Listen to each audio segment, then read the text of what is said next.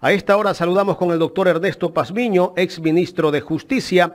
Con él vamos a hablar de la declaratoria de guerra al crimen organizado y terrorismo. Doctor, buen día, gracias por acompañarnos aquí en Ecuador en directo. Bienvenido. Buenos días, estimado Jaime. Un placer estar con ustedes y un saludo a todos quienes nos miran y nos escuchan. Gracias, doctor.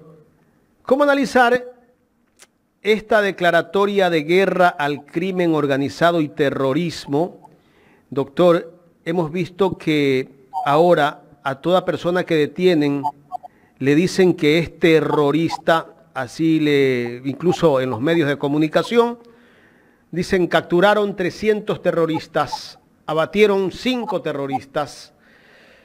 ¿Cómo se determina cuando alguien es terrorista? ¿Quién tiene que determinar quién es terrorista?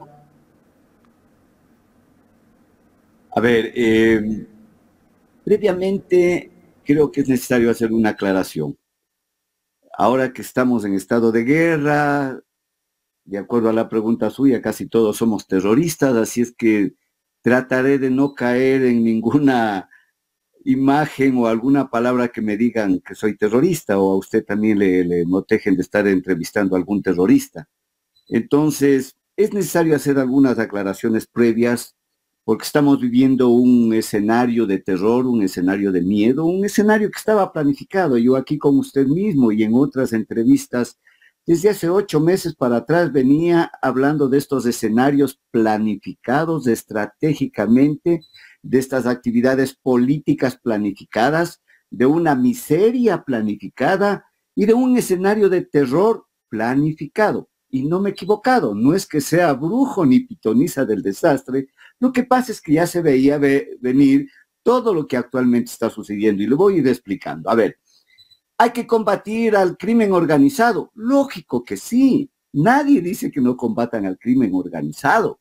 Hay que combatir el supuesto terrorismo. Sí, el Estado tiene que hacer eh, este combate al crimen, al supuesto terrorismo, ya vamos a hablar de eso, para generar una obligación estatal primordial, que es, de acuerdo a la Constitución, darle seguridad a los ecuatorianos. Pero lo que debemos analizar es el relato oficial y el relato de los medios de comunicación de la oligarquía, que yo llamo estos, estos medios eh, comerciales, va por otro lado, va por una política de engañar y engatusar a la ciudadanía. Me explico claramente. ¿Qué significa crimen organizado? ¿Qué significa terrorismo? Vamos analizando detalladamente.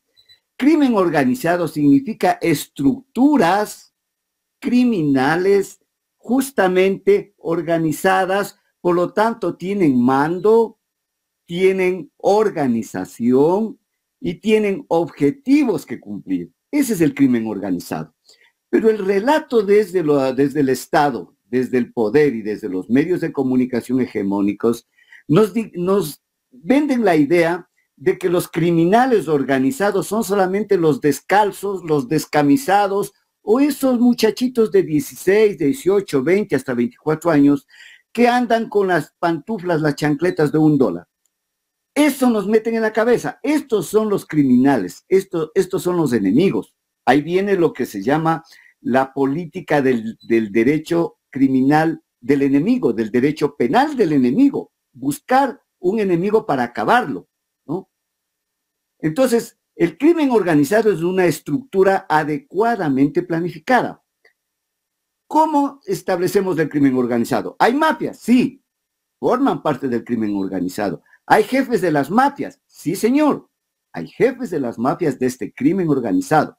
Pero las mafias por sí solas, que se organizan especialmente y casi exclusivamente para el tráfico de drogas, no se pueden organizar solas si quieren traficar drogas al extranjero y si quieren eh, invertir sus recursos que genera este enorme negocio del narcotráfico, tienen que buscar en el crimen organizado, en su estructura, otros actores que formen parte del crimen organizado para cumplir el objetivo criminal. Me explico más, más tranquilamente.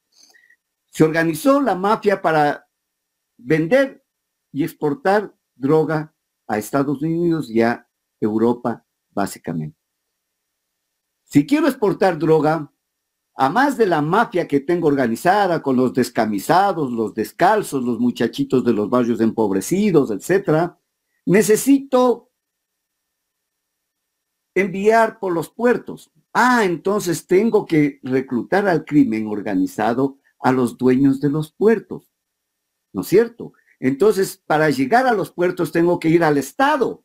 Ahí están las políticas de manejo de los puertos de los puertos estatales. Ah, pero como también en el Ecuador hay puertos privados, tengo que llegar a los dueños y a la estructura de los puertos privados para exportar la droga.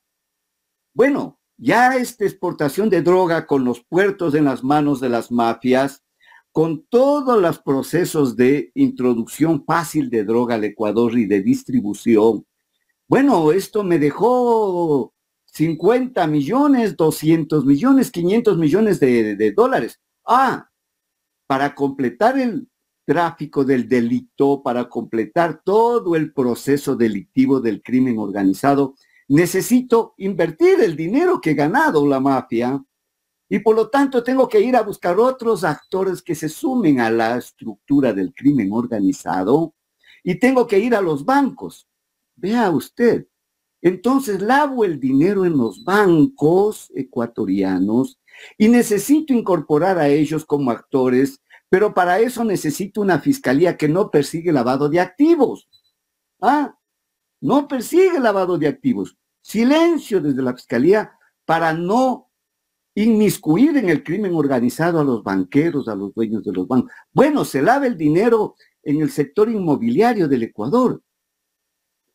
Bueno, Necesito también una estructura que se sume al crimen organizado para que lave el dinero en las empresas inmobiliarias, en las empresas comerciales, en las empresas automotrices, en las empresas importadoras de bienes y servicios, en las empresas exportadoras de bienes y servicios. Entonces, el crimen organizado, mi querido Jaime, mis queridos ecuatorianos, comprende una estructura que va más allá de los descamisados y de los descalzos que están portando un arma. Hay que combatirles a ellos. Sí, señor. Sí, señor, hay que combatir a estas mafias, a estos descamisados también, a estos descalzos que no han tenido otra opción porque el Estado no les ha dado otra opción a estos jóvenes, sino de incorporarse al crimen organizado.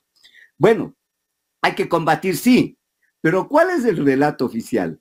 Que el Estado declara la guerra y les declara este crimen organizado de mafiosos para para vender droga, para traficar droga, para exportar droga. A ellos, solo a ellos, a los descamisados y a los grupos mafiosos, les califican de terroristas. Y el resto de la estructura criminal, los dueños de los puertos, los mecanismos que adopta la estructura criminal para exportar a Estados Unidos y a Europa la droga, y el resto del crimen organizado que se incorporó a esta mafia para lavar el dinero sucio del narcotráfico en el Ecuador. Ellos no son terroristas. Pensemos y hagámonos la pregunta, ¿quiénes son los verdaderos terroristas? Las mafias descamisadas, los jefes de las bandas que han organizado este crimen para traficar droga. ¿Ellos son los terroristas? ¿Ellos son los criminales únicamente? ¿O también son terroristas, son criminales, toda esta estructura que se suma al crimen organizado.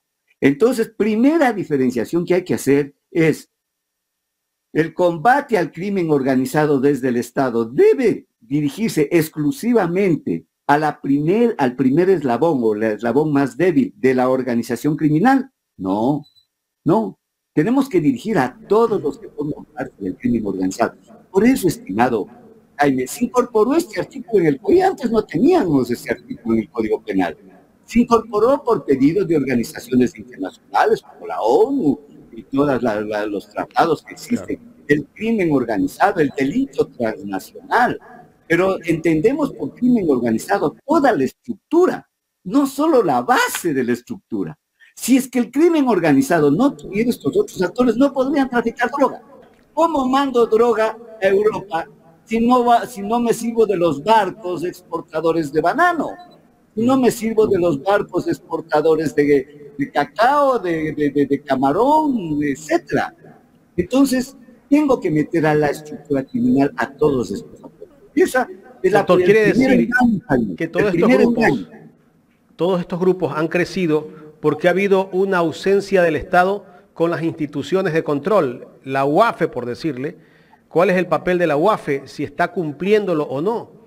Porque no solo es Fiscalía, también es la UAFE, yo creo, ¿no? La Superintendencia de Bancos. Y es por eso que ahora escuchamos que los bancos van a ganar como nunca tantas utilidades en este año que terminó el 2023. Más de mil millones de dólares en utilidades. Si el país está en crisis, ¿cómo van a ganar tanto dinero? A ver, mi querido Jaime, voy a recordar lo que yo dije en una entrevista aquí con usted hace unos seis meses y también lo dije en otros medios de comunicación. Yo afirmé esto, que fue titular en, varias, en, varias, en varios medios de comunicación. Yo hice esta afirmación, que creyeron de que estaba equivocado.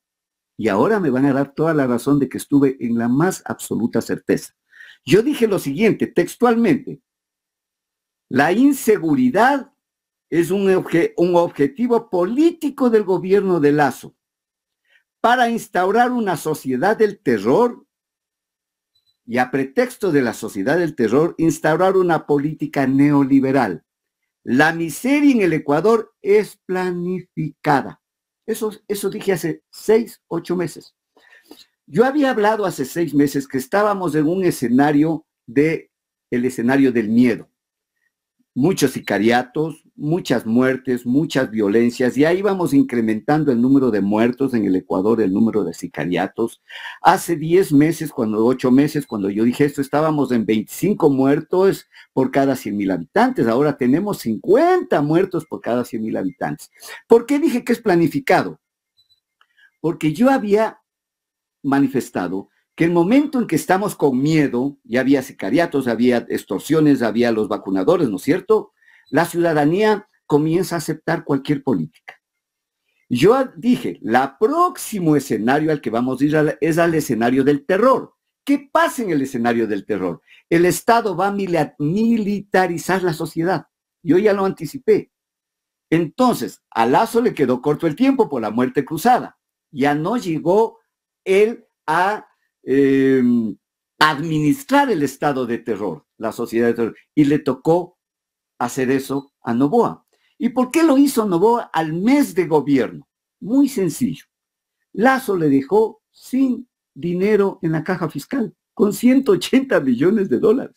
Ojo, alguien ha dicho la culpa es de Lazo. Lazo se endeudó en 35 mil millones de dólares, incrementó la deuda externa y no hizo una obra. Alguien dijo la culpa es de Lazo. Lazo nos dejó sin dinero, sin recursos. Alguien dijo la culpa es de Lazo. Hasta nos dejó sin luz.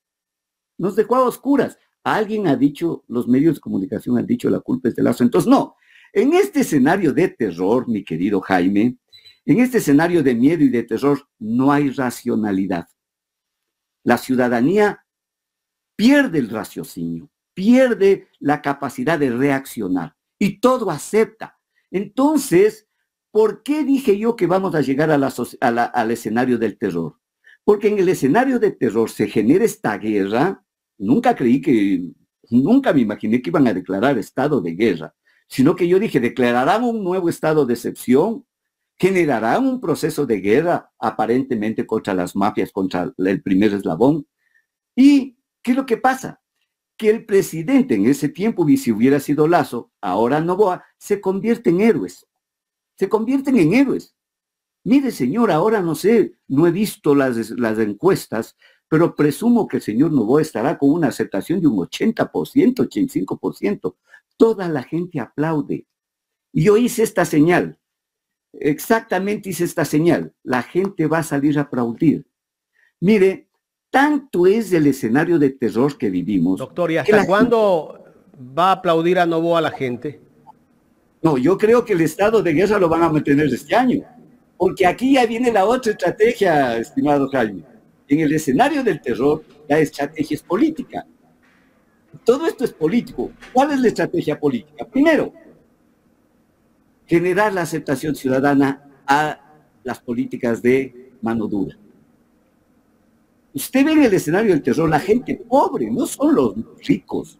Los humildes de los barrios salen con pan, con sándwiches, con agua azucarada a dar a los militares y a la policía. Pasa un carro de los militares y todo el mundo aplaude. Políticamente fue beneficioso. ¿Por qué? Novoa, ese muchachito que no tiene idea de las cosas, se convierte en un héroe y se lava la cara sucia que tenía la policía y los militares los narcogenerales. Ya no se habla de los narcogenerales. ¿Ha escuchado usted hablar algo de Ayer dijo Novoa que tenía 85% la policía y las Fuerzas Armadas de aceptación en este momento. Es lógico. Es que esa era la estrategia política, Jaime. Esa es la estrategia política que les está funcionando muy bien a la perfección. Así como armaron la estrategia política de crear un enemigo, el correísmo, de crear a Correa como el enemigo al que hay que acabar, ahora la estrategia es la inseguridad, que es el sentimiento más, más grave del pueblo, el sentimiento más sensible del pueblo. Yo estoy viviendo en inseguridad. Entonces, cualquier política que combata esto va a ser aplaudida. Entonces lo mantendrán este año, probablemente para la revolución. Pero no les va a durar mucho tiempo tampoco.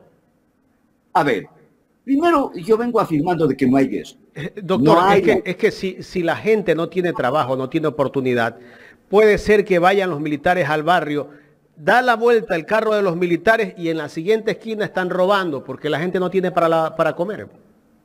A ver, bien, me eh, echa su pregunta para yo contestarle con esta otra afirmación. A ver, han caído más de dos mil presos, ¿no es cierto?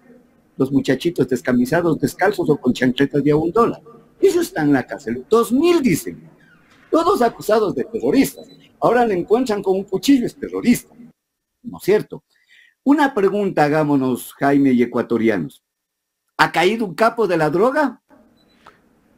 ¿Ha caído un capo? Ninguno, ninguno. Ninguno. Entonces a mí me llamaron Los capos no viven, no viven en los, barrios populares, viven en, en San Borondón algunos, otros en Cumbayá, aunque en Cumbayá hicieron un operativo, pero creo que el capo no cayó. No, a ver, es que los capos están haciendo los negocios todavía. ¿Usted cree que estos días no se ha exportado droga? No, se está exportando más que nunca. Por eso es que ayer agarran 90 toneladas, no es como de droga. 20 toneladas en, Vince, en Vinces, 21 toneladas o 22 toneladas en Vinces, pero no ha caído ninguno, pues solo creo que estaba el guardia allí, es el único detenido. Y lo que llama la atención, doctor, para terminar, es que ni siquiera dicen de quién era esa hacienda donde cogieron la droga. Nunca, nunca, nunca ha pasado eso. En todos los decomisos de drogas en esas cantidades, solo cae el chofer, cae el, hombre pobre que cuida eh, la hacienda o que cuida la bodega, y nunca caen los campos. ¿Usted se ha enterado de los campos? No. Aquí viene otra cosa, aquí viene otra cosa, mi querido Jaime. La UAFE que es la entidad encargada de vigilar, controlar y monitorear los depósitos inusuales de dinero en los bancos y en el sistema financiero, ha enviado cerca de 2.000 reportes, óigame Jaime, de 2.000 reportes de operaciones inusuales, lo que se llaman los ROI, reportes de operaciones inusuales a la Fiscalía. Y la Fiscalía no ha iniciado ni el 3% de esos cerca de 2.000 reportes investigaciones previas. Desde la Asamblea le preguntaron por escrito a la, a la fiscal general, señora, ¿qué hizo con los reportes de operaciones inusuales? ¿Cuántas investigaciones previas ha iniciado con eso? ¿Sabe qué contestó? No les puedo decir porque eso es reservado. Una. Y segundo, no porque las UAFE me mande un reporte de operaciones Suárez, yo tengo la obligación de iniciar investigación previa. Señora fiscal, si la entidad técnica encargada de monitorear y vigilar las operaciones inusuales en el sistema financiero le dice que hay estos 1.800, 1.900 casos y usted se queda con los brazos cruzados. Al menos de los nombres de las empresas que están mencionadas en, los informes de la UAF. Entonces aquí hay todo un contubernio, toda una política, toda una estrategia para perseguir al más débil, ¿no es cierto?, al enemigo, al terrorista, pero para tapar, para alcahuetear a los miembros del crimen organizado, pero que tienen poder, a los que están en las altas estructuras del Estado. Señora fiscal, ¿qué pasó con León de Troya? ¿Qué pasó con el gran padrino, donde se establecían los nexos directos de las mafias del narcotráfico con el gobierno? Silencio absoluto. Ahí están los terroristas. Ahí están las estructuras más fuertes del crimen organizado. Ahí están las estructuras que permiten que el proceso delictivo concluya satisfactoriamente para las mafias. Sí, entonces, combatamos a eso. Combatir el crimen organizado, sí, señores. Combatir el delito, sí, señores. Combatir el terrorismo, sí, señores, sí. Pero no solo al eslabón más débil. El crimen organizado tiene una estructura que va mucho más allá de los descamisados con escopeta, que va mucho más allá de los muchachos descalzos que llevan un revólver. Va más allá. Los grandes miembros activos y permanentes del crimen organizado están en las estructuras superiores del Estado. Entonces, ecuatorianos, no se dejen engañar. Ahora lo que tenemos en el Ecuador es una oligarquía entontecida por el dinero, una élite burguesa entontecida por el dinero y un pueblo entontecido por el engaño de estas oligarquías. El pueblo está, el pueblo está amortiguado. ¿Usted cree de que se va a subir el IVA y va a salir a protestar los estudiantes de la universidad. ¿Usted cree que va a haber paralizaciones, va a haber paros, movimientos de los trabajadores que van a ser eh, perjudicados en sus salarios y sube el IVA? No. Entonces, mire, Jaime, esta estrategia política de la guerra tiene otro escenario. El escenario más adecuado para que el Fondo Monetario Internacional venga e implemente su programa económico de shock. A ver, a pretexto de la guerra, voy a subir el IVA, ¿no es cierto? Entonces los ecuatorianos, gente humilde con quien yo tengo contacto, me dicen, está bien, doctor, que suban el IVA, si es para combatir a los terroristas, está bien. Un pueblo entontecido por el engaño de los medios de comunicación.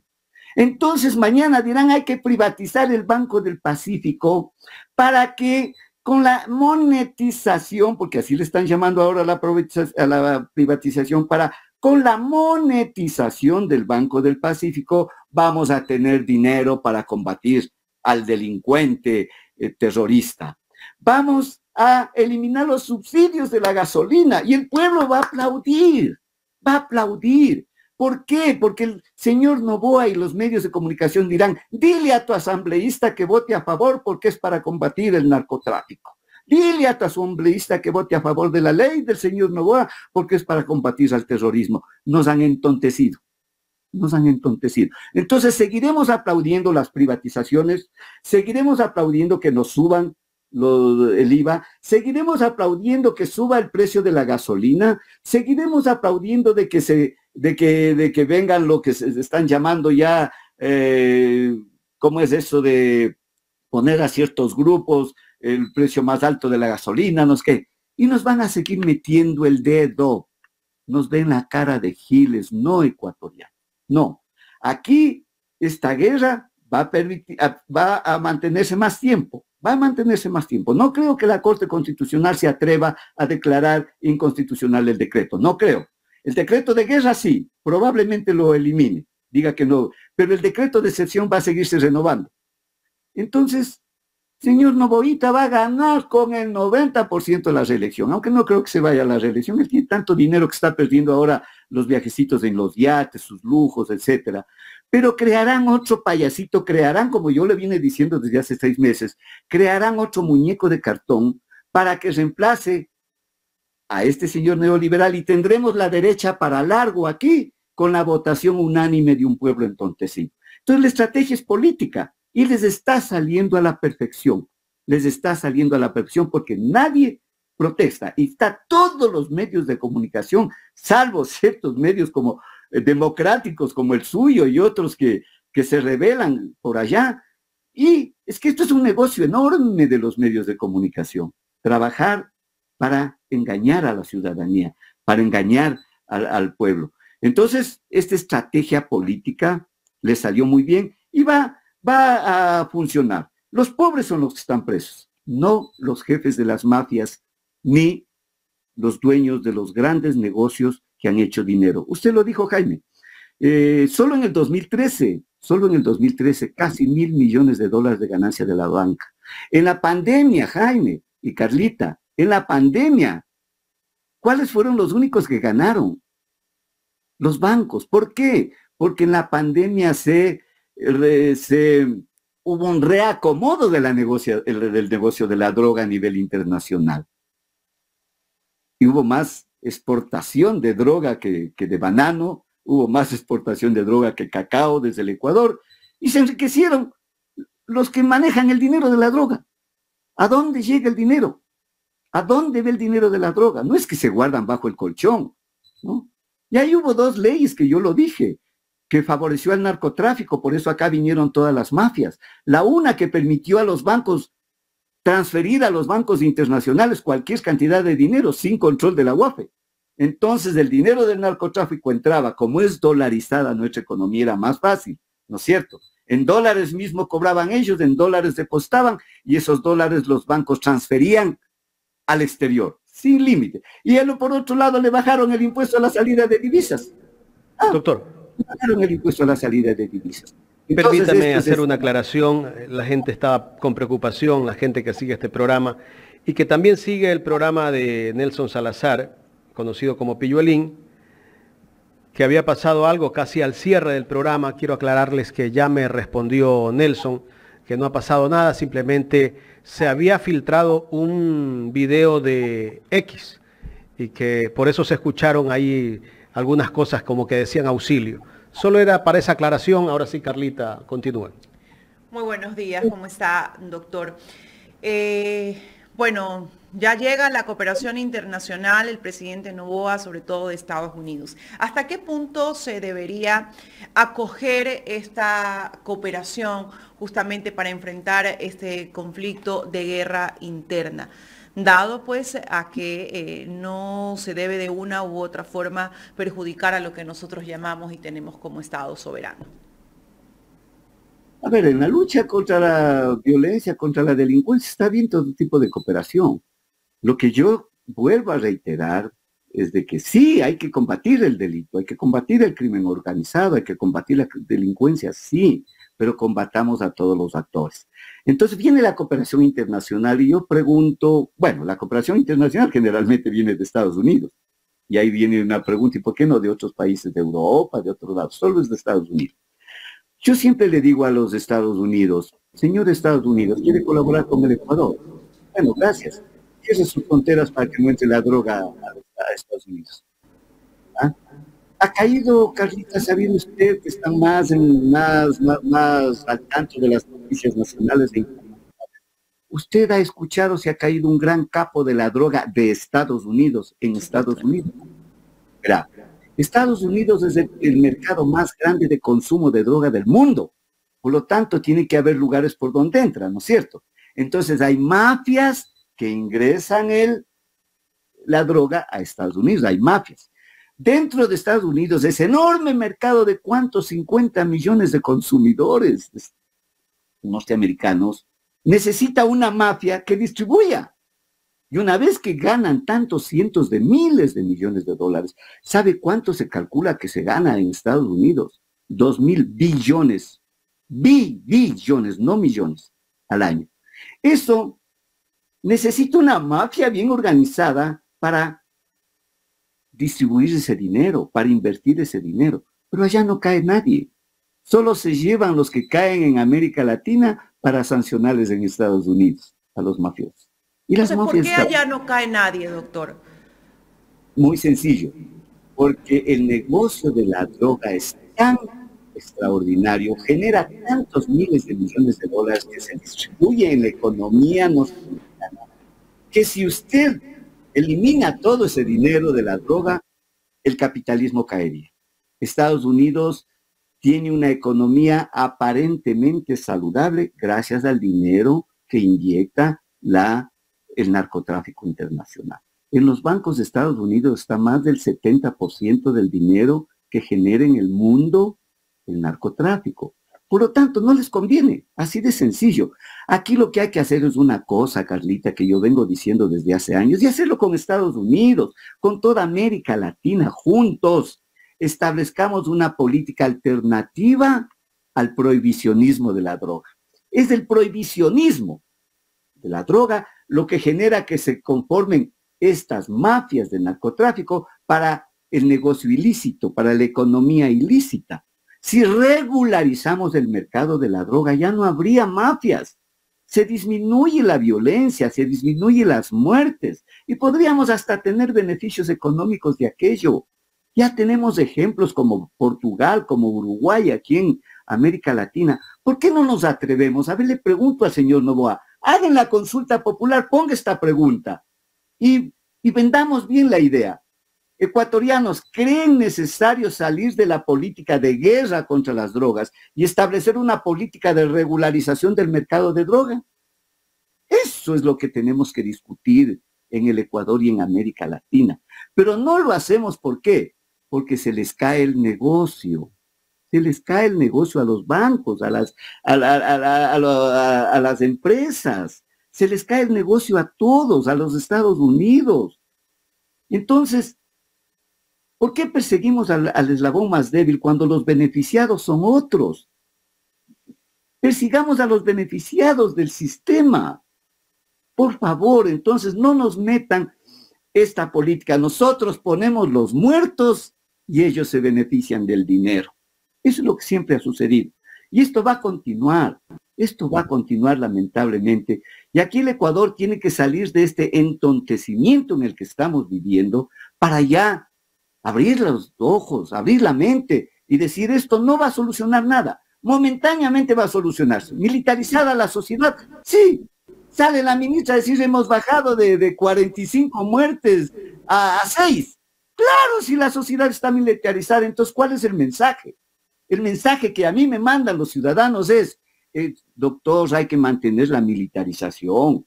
Es necesario que los militares, los, los, los marinos, la FAE esté permanentemente en las calles. ¿Hasta cuándo? No va a estar toda la vida.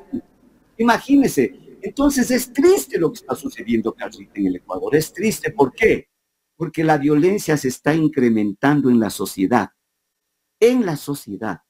O sea, tenemos una sociedad que este rato tiene más sentimientos de odio, tiene más sentimientos de venganza. Este momento tenemos, tenemos una, una sociedad empobrecida, que lo único que quiere es seguridad. No le importa el trabajo, Carlita. Empobrecida en valores, descomposición del tejido social, pero esto tiene que ir de la mano con una política social. ¿Hacia dónde, hacia dónde llevar esa política? A ver, la única guerra, Carlita, que debemos ganar, ecuatorianos, la única guerra que debemos ganar y pelearlo, lucharlo hasta ganar, es la guerra contra la pobreza y la inequidad. A ver, aquí me dicen que todo esto está funcionando gracias a un plan Cóndor. ¿Usted conoce el plan Cóndor? Yo no, no conozco. ¿Cuál también es el plan Cóndor? El plan Fénix. A ver, un plan, Carlita, un plan es eso, un plan con metas, con estrategias, con mecanismos de medición, cómo se va avanzando en, en, el cumplimiento de las estrategias. Un plan debe contener tres temas fundamentales. El primero, el primero, el de la prevención, cómo prevengo la violencia, ¿no es cierto? Eh, eh, el segundo tiene que ser el de la disuasión. ¿Cómo voy disuadiendo luego del primer paso de la prevención para evitar el tercer paso que es la de la represión? Pero aquí los planes solo se van por el último paso, reprimir, reprimir. Entonces, el primer paso, el de la prevención, ¿qué significa, Carlita? Eso debe estar en el plan Cóndor que dicen que hay, que yo no conozco, que estoy seguro que no hay. Estarán trabajando al apuro para decir aquí está el plan Cóndor. Entonces, en la primera parte del plan Cóndor tiene que decir, prevención, ¿cómo prevengo? El Estado tiene que volver a la inversión social. El Estado tiene que invertir en educación, en salud, en vivienda, en empleo, en trabajo en darle de comer a los ecuatorianos. ¿Cuánto dice el presidente que necesita para la guerra? Y por eso quiere subir el impuesto del IVA del 12 al 15. Dicen que solo para un año necesitan 1.200 millones de dólares para la guerra. Carlita, ecuatorianos, con 1.200 millones en un año, le saco de la pobreza a toda Esmeraldas. Le construyo hospitales para darle salud a los barrios marginales, marginales de donde salen los muchachos sicarios le construyo escuelas y colegios para esta, esta gente pobre que nunca ha estudiado y tiene que ir a formar parte de las mafias. Le construyo colegios, universidades, construyo carreteras y les doy trabajo a toda esta gente pobre. Con mil millones de dólares le saco de la pobreza a Esmeraldas y a las provincias pobres y a los barrios pobres. Hay que invertir en en, elementos sociales, en educación, salud, vivienda. No invertir en las Fuerzas Armadas para que maten a los ciudadanos. No, no. ¿Usted cree que con, con, los recursos que tienen en estos momentos pueden contrarrestar el tema delincuencial? Si es cuestión de voluntad, no de recursos. A ver, primero no hay guerra, casi. ¿Ha visto usted el enfrentamiento? Yo no he visto a, a los... Eh, aviones sobrevolando las ciudades, no he visto a la Marina y a los... Los militares dándole palo a la gente, maquillándola, haciéndole bullying, subiendo videos a redes sociales. Eh, esas son las cosas que hemos visto y las cosas que de una u otra forma hemos criticado aquí, ¿no? O sea, ¿cuál debería ser realmente el actuar de, de, las fuerzas del orden? Sí, entonces, claro, eh, eh, yo no veo, por lo tanto, una estructura planificada, un plan donde tengan estos tres elementos, prevención, disuasión y represión. No veo, no veo.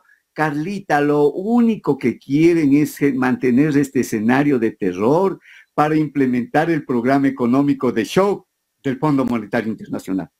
Eso es todo.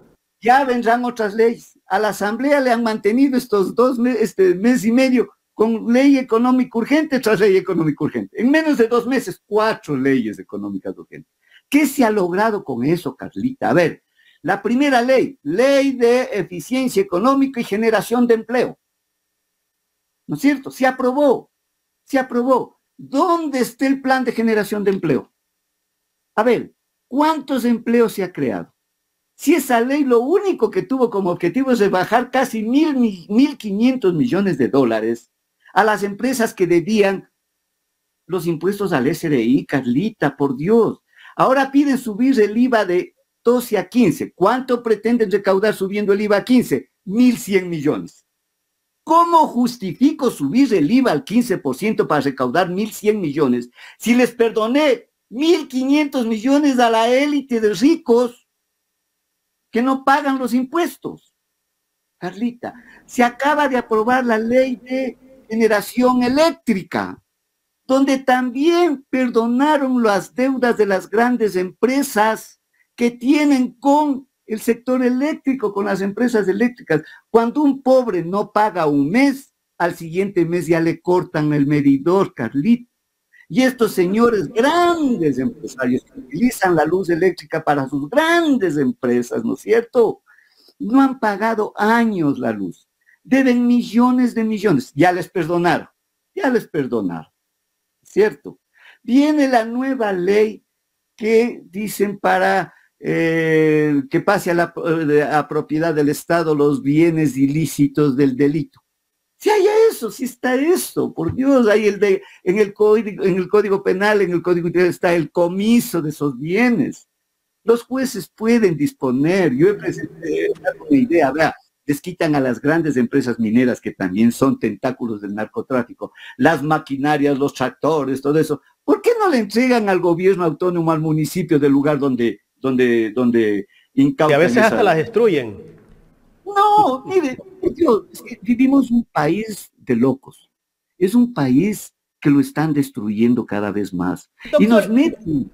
Quisiera dejar algo claro, ¿no? Porque me llama la atención mucho su percepción y básicamente equivale al análisis. ¿no? Usted decía, bueno, estamos pidiendo eh, el apoyo, eh, incrementando el IVA o cualquier eh, tipo de, ayuda en, materia económico para financiar la guerra. Y usted nos hacía una reflexión, pero ¿qué tipo de guerra? Entonces, ¿por qué esos recursos no se usan para inversión social? Entonces, eh, claro, ¿no? ¿Qué necesitamos? Municiones, ¿qué necesitamos? Aviones, ¿qué, es lo que necesitamos? Y las Fuerzas Armadas tienen su presupuesto. Entonces, no, nos queda, ahí, ahí nos hace una reflexión usted, ¿no? Muy válida, y nos dice, bueno, ¿qué tipo de guerra estamos enfrentando para que necesitemos tanto dinero? ¿Qué, armamento bélico tenemos que comprar para enfrentar a, grupos delictivos de delincuencia organizada, básicamente carteles de droga, que han sido declarados terroristas, bueno, por, por el miedo que han causado por el terror y porque han estado enquistados en las diferentes instituciones públicas, eh, básicamente corrompiéndolas? ¿no? Entonces, ¿se necesita esa cantidad de dinero para enfrentar aquello? No, Carlita. Lo que está haciendo el ejército ahora ya lo ha hecho en los estados de excepción anteriores. ¿Alguien pidió plata antes? No. ¿Por qué? No se necesita, no hay guerra. ¿Por qué no funcionó antes, doctor? veíamos, eh, Jaime sacaba un video eh, temprano de que tenía pues eh, televisión por cable, internet. Internet fijo, televisión por cable. ¿Quién permite todo esto, doctor? ¿En qué gobierno se dio? Sí, Ahí quiero contestar una pregunta muy clave e importante que hizo Carlita anteriormente. Eh, bueno, si no estamos en guerra, ¿para qué? qué? es lo que está sucediendo? ¿Por qué no están pidiendo tanta plata y el esfuerzo del pueblo, no de las grandes oligarquías? Porque con eso se confirma mi hipótesis, Carlita, que todo esto fue planificado y todo es una estrategia política. Entonces, ¿la estrategia cuál es? El aplauso de la ciudadanía al niño fuerte, que, y él sale, es que ya se acabó la época de gobiernos débiles. Ahora estamos con fortaleza, dice el muchachito de cartón ahí, ¿no? Entonces, claro, eso le gusta a la gente. Eso está aplaudiendo. ¿Qué es lo que dice la gente? Vea, yo tengo grupos de abogados, el que pertenece, grupos de familiares, familias que han sido antineoliberales, profesionales, ahora me dicen Ernesto, me parece que es correcto. Oiga, me parece que está bien. Sí, que maten a esas lacras. Todos están aplaudiendo, que maten a esas ratas. ¿Y, si fuera un hijo de esa persona? Oiga, no se admiren, Carlita y Jaime, de que probablemente, es una hipótesis que hago, probablemente uno de estos días aparezca Fito muerto y será presentado como un trofeo de guerra. Y el pueblo se parirá, se va a parar a aplaudir. Aplausos de pie. Saldrán las Fuerzas Armadas con el trofeo. Aplausos de pie. Esa es la sociedad que hemos creado. Doctor, ahora que toca el tema de Fito, la gran interrogante que todo el mundo se hace, ¿cómo salió Fito de la cárcel? ¿Salió por el aire? ¿Por la puerta ancha? ¿Por dónde? ¿Y por qué justamente cuando Fito estaba en la cárcel, estaba encargada una servidora pública 2 del Centro de Rehabilitación a cabo la Penitenciaría del Litoral? ¿Por qué encargaron a esa persona? No, el tema es muy sencillo, estimado Jaime. Las cárceles no manejan el Estado, las cárceles lo manejan las mafias. El tema es bastante sencillo. Si caía Fito, caía Fito, podía contar muchas cosas. Vean, el celular de, de Noreros, ¿no? Caso metástasis. Un celular, ¿no? ¿Por qué no allanaron la celda de Fito y le quitaron su celular antes de que huya? Pregunta para los estudiantes. ¿Ah? Mire, Fito tenía tres anillos de seguridad. Uno, los guías penitenciarios. Fuera del anillo de los guías está el segundo anillo súper fuerte, el anillo de los policías. Y el último, el que rodea las penitenciarías y las cárceles, el anillo de los militares. ¿Por dónde salió Fito? ¿Quién le permitió su, su huida? No olviden una cosa, que la fuga de Fito y luego la de Colón Pico fue el fundamento para declarar el estado de excepción y luego el de guerra. ¿Ha pasado cuántos días de la fuga de Fito? ¿15 días? No, pues, no lo encuentro. Doctor, se fugó en Navidad, pues. El 25 fue a cenar a su casa. Mire, peor, ya estamos un mes. ¿Hay Estado? Me pregunto, ¿no le encuentran a Fito? ¿Hay Estado? ¿Hay presidente? Por favor, esto en otros países más maduros democráticamente hubiese sido causal para destituir al presidente. Pero aquí esto se convierte en una causal, en un medio para declarar héroe a un presidente que no tiene la más mínima idea de cómo gobernar el Estado. Entonces, preguntémonos, ecuatorianos, ¿dónde está Fito? ¿Por qué no logran detenerle si ya ha pasado un mes? Otros dicen que fue mucho antes que ya se salió. Entonces, si fue mucho antes, ¿quién le encubrió? Porque si desaparece un preso cualquiera, no se diga Fito, inmediatamente hay que comunicar al, al director de la cárcel, al director del SNAI, al ministro, etcétera. Aquí nadie sabía nada. Nadie sabe dónde está. Entonces... Pero lo más cumbre, que seguimos escuchando ¿no? al presidente de la República, creo que ha dado una entrevista para un medio colombiano el fin de semana, y sigue culpando a, Correa que todo lo que está viviendo el Ecuador sigue siendo culpa del expresidente Rafael Correa y que en el gobierno del expresidente Correa empezaron las bandas. Después el expresidente Correa lo aclara en un mensaje de X y les dice que la, banda de los choneros empezó a, finales de los 90. Y bueno, otras bandas también. Pero ¿quién gobierna en este momento? La escapada de Fito. No vengan a decirnos que es culpa de Correa, pues quien gobierna y quien pone al director del SNAI a todas sus autoridades es el gobierno de Daniel Novoa. Hay una estrategia que viene desde el gobierno de, los dos últimos años del gobierno de Moreno que yo lo he venido diciendo con mucha claridad. Identificaron un enemigo, Rafael Correa. Identificaron una estrategia, acabar con el correísmo. Identificaron un mecanismo, perseguirle a Correa, de hacer lo que sea prófugo para que no regrese al país. Y el tercer mecanismo, la tercera, la última estrategia, la cuarta era culparle de todo a Correa, de todo todos los males que hay en el Ecuador serán culpa de él.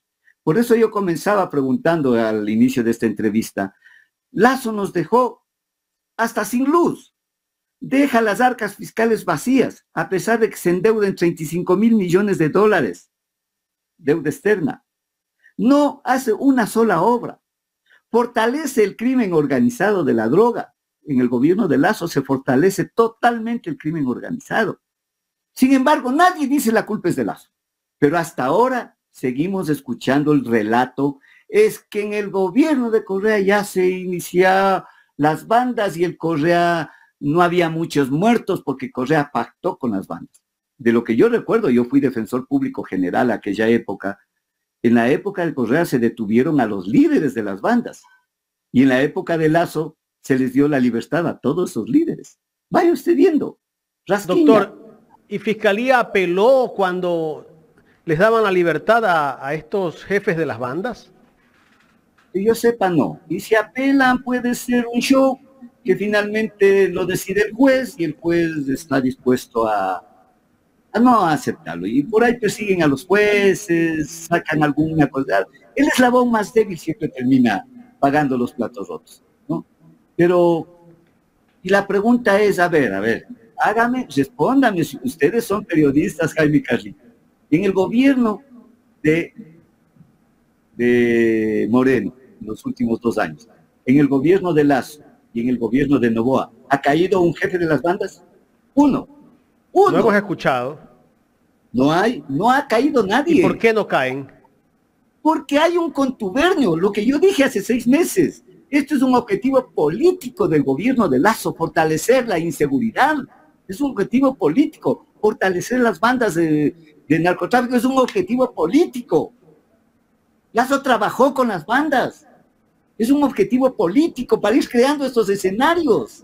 Estos escenarios, ¿quiénes son los que medran de estos resultados, de estos escenarios? La derecha. La derecha, por Dios.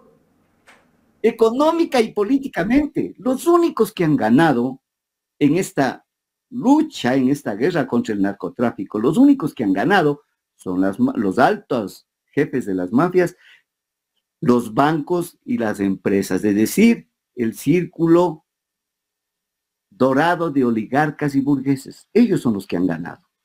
Los únicos, los únicos que hemos perdido ha sido el pueblo.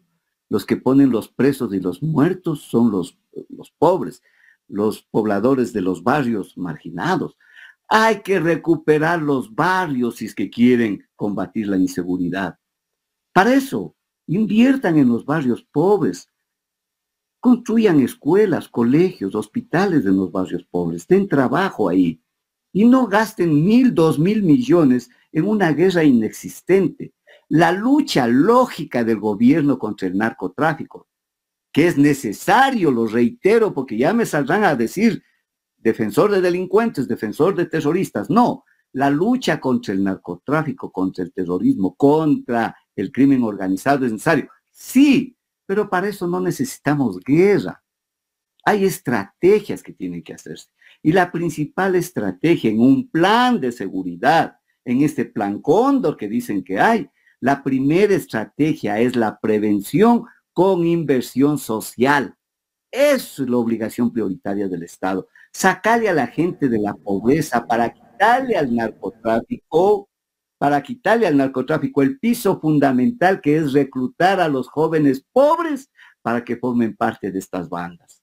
El pobre que, que decidió ser parte de estas bandas del narcotráfico, del crimen organizado, sin duda lo hizo porque ya no tiene otra alternativa, porque el Estado no llegó a su barrio, porque el Estado abandonó a su familia, abandonó el sector donde vive y llegaron las mafias a ofrecerles agua, a ofrecerles comida, a ofrecerles un lugar donde vivir, a ofrecerles motos, a ofrecerles carros, a cambio de que lleven una pistola y puedan matar. Ya no tuvieron otra alternativa. Entonces, la primera estrategia es combatir la pobreza. Reitero, la guerra que hay que ganar es la guerra contra la pobreza, la miseria y la exclusión.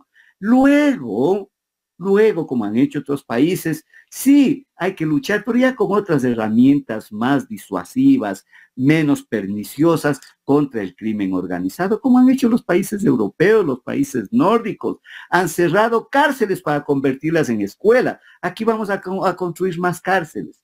¿Será eso la solución? No, no, no, el remedio va a resultar peor que la enfermedad.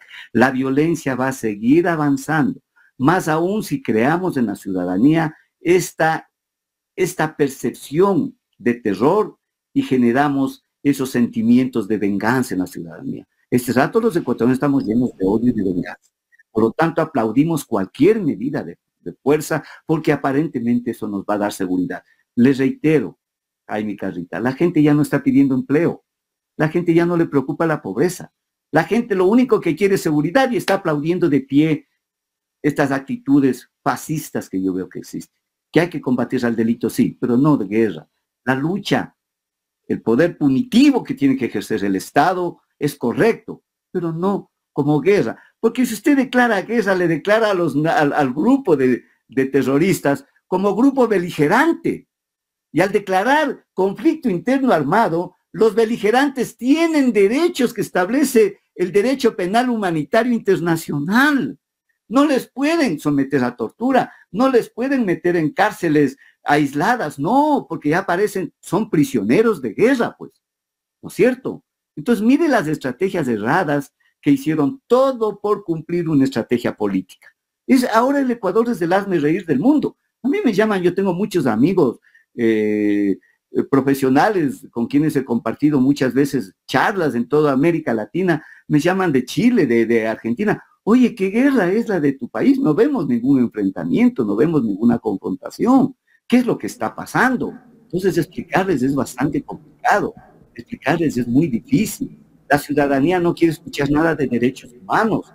La ciudadanía solo quiere maten a las lacras, maten a estas ratas y creen que con ese escenario de violencia tendrá la seguridad. No, no, no, no se engañen ecuatorianos. Hay que no combatir las causas, doctor. No, no se combate las causas, por lo tanto tenemos una aparente calma momentánea. Pero el negocio sigue, el negocio del narcotráfico sigue, sigue ingresando el dinero a los bancos, sigue lavándose el dinero en los bancos, seguirá una fiscalía callada frente al lavado de activos. Señor, vea Jaime, Carlita, ¿sabe cuántas sentencias hubo de lavado de activos en el 2023? ¿Sabe? Entérese. Una sentencia. Una. Una. Cuando en el 2022 parece que hubo 20, y en el 2026 una. Pero si el lavado de activos es el delito más evidente, todos lo vemos. Todos lo estamos palpando. Mil millones de dólares ganan la banca en momentos de pobreza. Si la gente no tiene plata para depositar en los bancos, ¿de dónde ganan tanto? Ah, mil millones. Todos vemos, menos las autoridades. Ojos ciegos para eso. No, pues tapan, te tapan con una venda, no pasa nada pero sacan esa venda para matar en los barrios. ¿Ha visto usted, Carlita y Jaime, que se ha hecho un allanamiento en algún barrio rico? Y si lo hacen alguna vez, no encuentran nada. Solo van a los barrios pobres, al Cerro Las Cabras, a, a los Guasmos, a las Malvinas. Aquí van para la lucha de los pobres, van por ahí. Pero perseguir solo a los descamisados. Entonces, las los grandes capos de las mafias siguen haciendo negocio, siguen haciendo negocio, así es que no va a concluir esto, no se dejen engañar. Quieren acabar con esto, hay que cambiar la estrategia, hay que cambiar la política, hay que cambiar el mecanismo de luchar contra las drogas. Todos los delitos que admiten Jaime, cariato, vacunas, extorsiones, eh, todo eso viene del narcotráfico, viene del narcotráfico. Ahora ya están en las mineras, están en las... todo eso. Entonces, quieren combatir la inseguridad, combatamos al narcotráfico. Y la mejor estrategia para combatir el narcotráfico es combatir el lavado del dinero sucio. Si no combate el lavado del dinero sucio, no va a ganar la guerra. Pero para combatir el lavado del dinero sucio, tiene que ir a los dueños de los bancos, tiene que ir y, eh, acusar de terroristas porque forman parte del crimen organizado a las grandes empresas exportadoras de bananos, exportadoras de cacao, que en sus contenedores llevan las cientos de toneladas de droga. Esas 20, 30 toneladas que encontraron ayer en Vinces, ¿por dónde vinieron? Llegó por el aire y en paracaídas botaron en Vinces. Entró por la frontera, donde ya no hay radares. Entran en avionetas, donde ya destruyeron los radares, Jaime. ¿Dónde está el juicio por la destrucción de los radares, señora fiscal? ¿Qué pasó con el juicio que siguió a unos militares por la destrucción de los radares? No pasa nada. No pasa nada en nuestro país. Entonces seamos serios. Quieren combatir el delito, combatamos a todos los actores, no solo a los descalzos y a los descamisados. Doctor, quiero agradecerle por aceptar conversar con Ecuador en directo en esta mañana. No, gracias a ustedes y a las órdenes. Ojalá no me digan que soy parte de las bandas terroristas. bueno, así nos acusan a todos los que decimos la verdad. Yo siempre estoy esperando el allanamiento aquí. Cualquier rato caen los allanamientos. gracias al doctor Ernesto Pazmiño. El doctor Ernesto Pazmiño, ex ministro de Justicia, conversando con Ecuador en directo, muy contundente. Su análisis me parece un análisis muy directo. Ojalá alguien del gobierno no solamente vea a los medios que le tiran flores, ¿no? También vea a los que le hacen observaciones de las cosas que no están haciendo bien. Bueno, ahí hay otro punto de vista, ¿no? ¿Realmente para qué se utilizarían esos recursos que necesita el gobierno? ¿Realmente son necesarios? Mil millones, mil veinte millones. no, no, y decimos, bueno, ¿de qué se va, de qué eh, eh, se va a dotar específicamente? ¿no? ¿Por qué no alcanzan los recursos que aún hay? ¿Por qué ese dinero no invertirlo en temas, en programas y en proyectos sociales que ayuden a combatir pues, la causa y no el efecto? Y la gran pregunta es si el presupuesto que tienen las Fuerzas Armadas, el presupuesto de la policía, Está bien fortalecerlo, pero no llegar a mil millones de dólares. Esa es la interrogante que nos hacemos.